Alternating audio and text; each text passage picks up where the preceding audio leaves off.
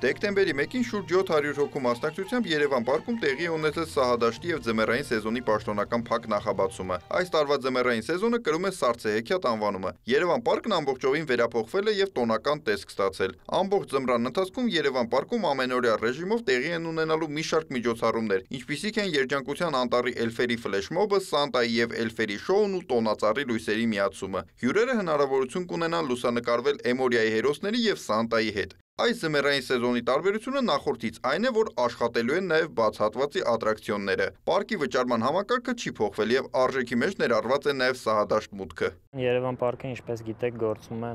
1 տոմս գաղափարով, այսինքն առնում գնում են 1 տոմս եւ ատրակցիոններից օգտվում են անսահմանափակ։ Մենք նույն կոնցեպտը պահպանել ենք նաև սահադաշտի դեպքում։ Հյուրերը կարող են անսահմանափակ օգտվել սահադաշտից, գնելով 1 Երևան պարկի տոմս։ Եթե այլ վայրերում վճարում են ժամի համար ու օգտվում են սահմանափակ,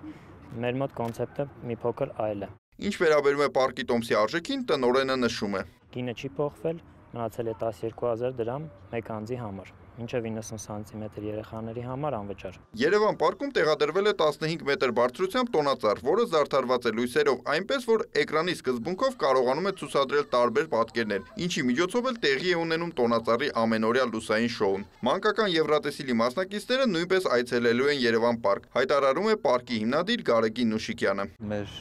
Երևան պարկը շարունակական զարգացման ընթացքի մեջ է Ամառը լրացուցիչ տարածք ենք բարեկարգում եւ նոր ատրակցիոններ ենք տեղադրելու դեռ որ ամբողջ տարածքի 1/3-ն է շահգործվում հիմա հաստատ տարածաշրջանի ամենալավագույն պարկն է սա հաստատ կարծում եմ որ 10 տարվա ընթացքում աշխարհի լավագույն պարկերից մեկը կլինի Երևան պարկը։ Տնորենի խոսքով գործունեության 1.5 տարվա ընթացքում Երևան պարկն ունեցել է 100 հազարավոր այցելուներ։